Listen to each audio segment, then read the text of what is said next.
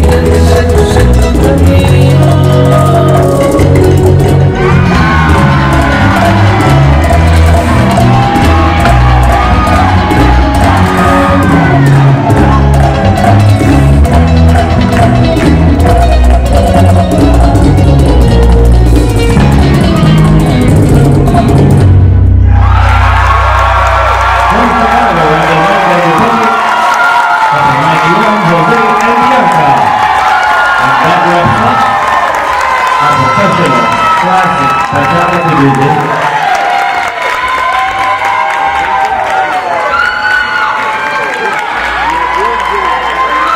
you to all the competitors from